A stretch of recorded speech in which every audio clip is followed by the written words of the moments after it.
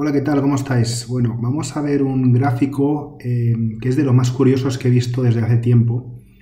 No sé si conocéis estos diagramas, es un diagrama triangular, tiene forma de triángulo, lógicamente, y eh, no, es, no es muy habitual, pero es muy útil para, eh, bueno, para relacionar tres variables. En este caso es una página web que ha hecho un estudio de las principales ciudades del mundo en el que entiendo que han hecho como una encuesta, no sé si es con una encuesta o con datos oficiales, en el que, bueno, sale un porcentaje de, eh, decir, em, eh, qué es lo que haces tú para trabajar, ¿no? Dentro de la misma ciudad. Eh, how do you travel to work? O sea, de cómo, cómo lo haces, ¿no? Es decir, con, movilidad, con movilidad activa, ¿eso qué significa? caminando, yendo en bici, eh, con monopatín, imagino que con el patinete este, ¿vale? Eh, public transport, ¿vale? Es decir, si utilizas autobús, si utilizas cercanías, si utilizas metro, si utilizas el tram, si utilizas un, tranvía, por ejemplo, o eh, cualquier transporte público o colectivo, ¿no? Y con coches privados, incluyendo taxis y mobility apps, es decir, si utilizas Uber y y todo esto, incluso también BlaBlaCar, entiendo, eh, pues bueno, digamos que tú aquí pues tienes que ir marcando, ¿no? Y eh, te saldría. Vale, eh, claro, yo aquí es como que mm, yo no podría marcarlo porque yo ahora mismo trabajo fuera de mi ciudad, ¿vale? Y no es lo mismo, o sea, yo, yo en Alcoy el coche apenas lo pillo mientras que eh, para ir a trabajar pues tengo que ir eh, con mi coche todos los días, ¿no? Porque tampoco hay transporte público.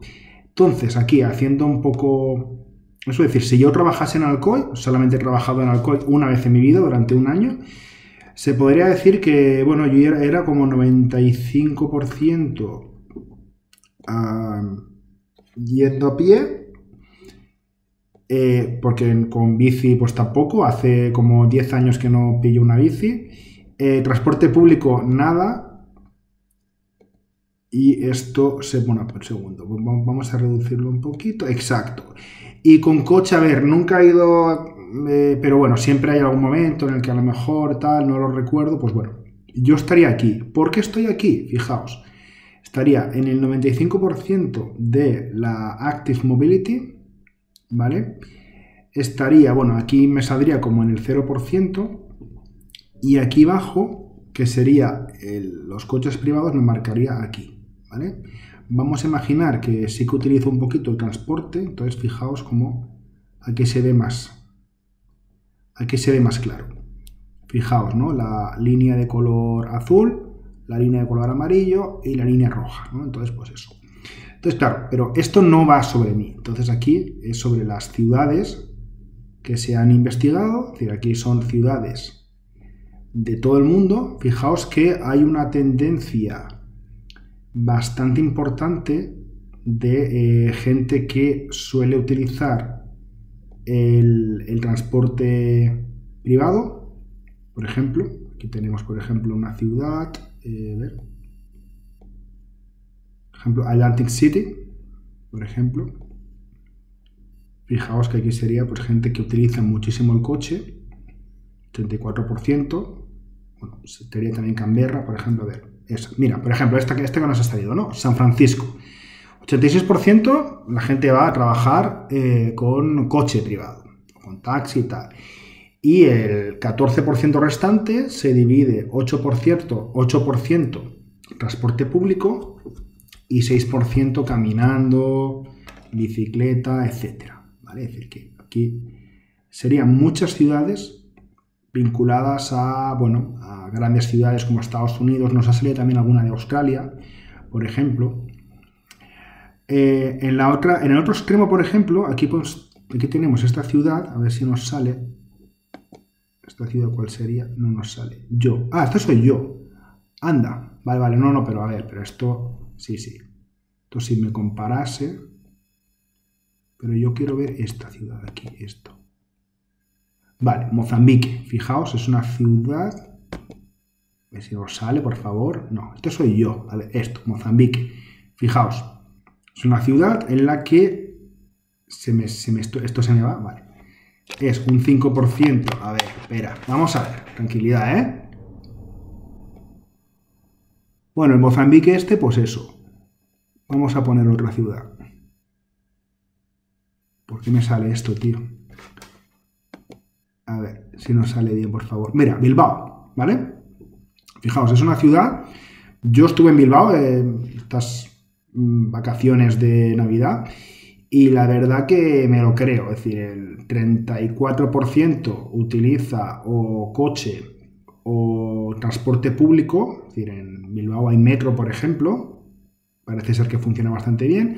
Y también hay muchos carriles, hay, mucho carril bici, por ejemplo, eh, gente se puede ir a pie, relativamente a pie, se puede ir, bueno, también por supuesto con los patinetes, pero sí que hay, hay, muchos lugares para, para ir en bici, ¿vale? Sabéis que lo de la bici muchas, muchas veces te lo venden como, bueno, es algo del futuro o el presente o lo necesitamos para cumplir con las, con las metas de desarrollo sostenible, pero claro, si tú no eh, si, tú no construyes infraestructuras eh, como carriles bici, no tienes un sistema de alquiler de bicicletas urbano, pues es complicado, ¿vale? Entonces, pues, mirad, os quería enseñar, a ver, aquí si seguimos bajando, porque esto sería un poquito global, es que lo que pasa es que esto se me está, se me está petando y no sé por qué.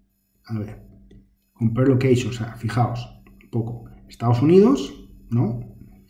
La mayoría de las ciudades están aquí. ¿vale? Es decir, que son ciudades en las que eh, el uso del coche está totalmente descompensado en comparación con eh, otras medidas más, más ecológicas, digamos, ¿no? Eh, lo comparas con Austria, por ejemplo, las ciudades de Austria, pues es bastante más equilibrado, por ejemplo. Si ponemos, esto sería Viena, pues fijaos, está muy, muy equilibrado. decir, esto no, esto no significa que no tengas que, que utilizar el coche. Muchas veces, ay, tal, es que me, es que me, es que me prohíben eh, pillar el coche. No, no es eso. Lo que pasa es que muchas veces hay alternativas a los coches. Yo, por ejemplo, cuando voy a cenar o a comer algún día a casa de mis padres, está como a 20 minutos de, mi casa, más o menos. Nunca he pillado el coche. ¿Por qué lo hago? Bueno, la primera, el primer motivo es porque lo considero absurdo, porque puedo, puedo ir a pie y en segundo lugar, porque bueno, donde la, zona donde viven mis padres, pues es una zona que es difícil aparcar. Y muchas veces digo, pues tío, voy caminando, a no ser que, que, llueva un montón o algo, ¿vale? Pero es un poco eso. ¿Qué pasa? Que esto se aplica más a las ciudades, a las grandes ciudades. Fijaos, esto está por regiones. Voy a poner esto, a ver, que, que se vea bien, un segundo, a ver, que lo quiero, que se vea bien todo. Vale, bueno, más o menos. Fijaos que en Europa hay como más diversidad. Evidentemente, esta parte de aquí será las zonas de Holanda. De hecho, nos había salido, bueno, aquí nos había salido Kosovo, pero aquí Utrecht, ¿vale? Holanda. Fijaos, Holanda es una de las de, los países, de las naciones con eh, mayor uso de bicicleta eh, por habitante. En muchos sitios, eh, bueno, está como desaconsejado totalmente pillar el coche, porque llegas mucho más rápido en bicicleta, ¿no? Ese sería como esa, esa Europa del norte. En cambio, tenemos, por ejemplo, en el Reino Unido, pues hay zonas en las que hay una mayor dependencia del coche, por ejemplo. incluso Lieja, Bélgica. Es curioso ¿eh? cómo hay diferencia entre Países Bajos, que está a muy poca distancia de Bélgica, ¿no? Eh, Toulouse, ¿vale? Luego, tenemos zonas en las que, por ejemplo, aquí en París, ¿no? En París lo que realmente funciona parece ser es el, eh, transporte urbano, transporte colectivo, eh, sobre todo el metro. Yo entiendo que ciudades como Londres, Francia, París, por ejemplo, Roma, pues tienen esto, ¿no? En América del Norte, es decir, ciudades de Estados Unidos y Canadá, pues no tenemos ese problema. Me refiero no, tenemos eh, tanta, tanta dependencia a lo mejor del transporte colectivo porque muchas veces ni existe o no es útil y es todo vinculado con el coche. Mientras que el tema del carril bici en muchas ciudades es, es como una mentira. Imagino que lo, verán a lo mejor en Twitter o las redes sociales y dirán, ¡guau, qué interesante! y luego ves que, no. En, el África subsahariana, ¿vale? es decir, son de los países menos desarrollados del mundo, pues bueno, tenemos pocos ejemplos, pero fijaos, aquí tenemos. Eh, bueno, en realidad, África subsahariana, claro, aquí han puesto, si no, sigamos, dentro de África, pues bueno, son ciudades un poco más desarrolladas, por ejemplo, Ciudad del Cabo, ¿vale? Pues aquí sí que hay una gran dependencia del coche, es decir, es un modelo de ciudad muy similar al que podemos encontrar en Estados Unidos. Y sin embargo tenemos la capital de Ghana, Accra, pues que bueno, que ahí sí que eh, el, uso de, bueno, de caminar o de ir en bici y tal, pues es, está, está mucho más extendido. Y lo de Mozambique que hemos visto antes, pues eso, ¿no? ¿Qué pasa, por ejemplo? Venga, sí, vamos, vamos acabando. Entonces, por ejemplo, fijaos, ciudades de, eh, bueno, del eh, sudeste asiático, ¿vale? Pues China, por ejemplo, yo me acuerdo cuando era pequeño, pues siempre era como es, mira, van todos en bicicleta, claro, porque son tantos y claro, no, no pueden ir en coche. También es verdad que antes era muy, muy caro para los chinos tener un coche, ahora ya no tanto pero veréis cómo nos encontramos a una ciudad de China, efectivamente. Tenemos aquí todo China, China, China, China. Aquí, en cambio, con las que tienen mayor dependencia es Australia. Australia tiene un modelo, eh, Australia y Nueva Zelanda, ¿eh? no sale también Taiwán, pero estas ciudades tienen un modelo eh, urbanístico muy similar al de Estados Unidos, es decir, son eh, calles y barrios muy, muy dispersos, y eh, un sistema de transporte público pues muy deficiente. En cambio aquí sí que tenemos, por ejemplo, Japón, Tokio, ¿no? la gente se mueve mucho con el con, bueno, con los cercanías y también con, con los eh, con el metro, por supuesto, ¿no? Y bueno, ya eh, pues esto si lo queréis ver, la verdad que está bastante chulo, está muy, está muy interesante, no me quiero